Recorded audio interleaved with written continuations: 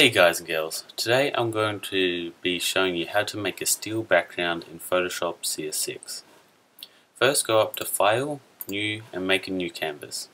Call yours whatever you want, I'll be calling mine steel background.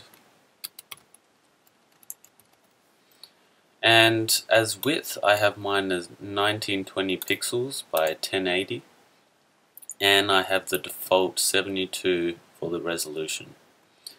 And for the background contents, I have mine as transparent. Once you're happy with all this, click the OK. Now once you have a blank canvas, go to the paint bucket. It can also be hidden behind the gradient, so click and hold and it should give you the option to change. And change the foreground color to black. And click the canvas once. Now once you have a black background, go up to Filter, Noise and add noise. It'll create a static looking background which we are going for. Now change the amount to 300. You can also have more or less depending on what you want, but 300 will be working for this one. And change your distribution to uniform and tick the monochromatic. Once you're happy with all these settings, click OK. Now, after you have done this, go up to Filter, Blur, Motion Blur. Now this will create the steel looking background which we are going for. Now I have my angle at 0, you can change it to whatever you want, does not matter at all, but I will be having mine at 0 degrees.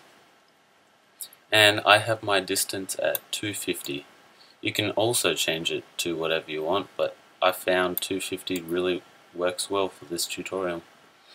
And once you're happy with all these settings, click the OK.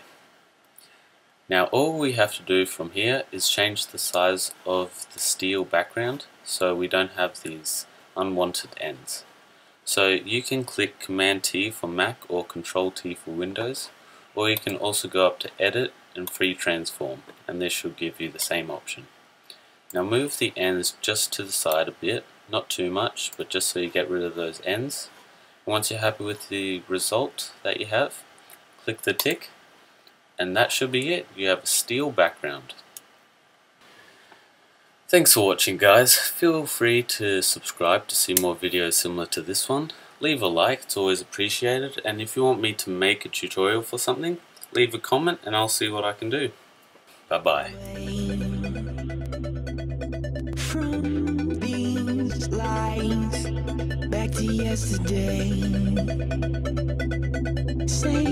Tonight. I feel the sun creeping up like tick tock. I'm trying to keep you in my if